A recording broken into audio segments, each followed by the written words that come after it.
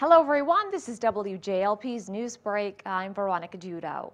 A second storm hit the Northeast in less than a week. Yesterday's nor'easter brought wet, heavy snow to the East Coast. The dangerous conditions caused power outages and grounded hundreds of flights. Today, a lot of the snow has already melted and thousands of travelers who were stranded are hoping to board their flights as air travel resumes. Two Long Branch men pleaded guilty to charges of attempted murder after admitting they fired multiple shots into a vehicle at a West Long Branch hotel in 2017.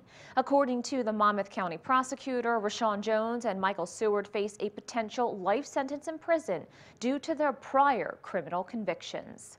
For more on these stories, visit app.com.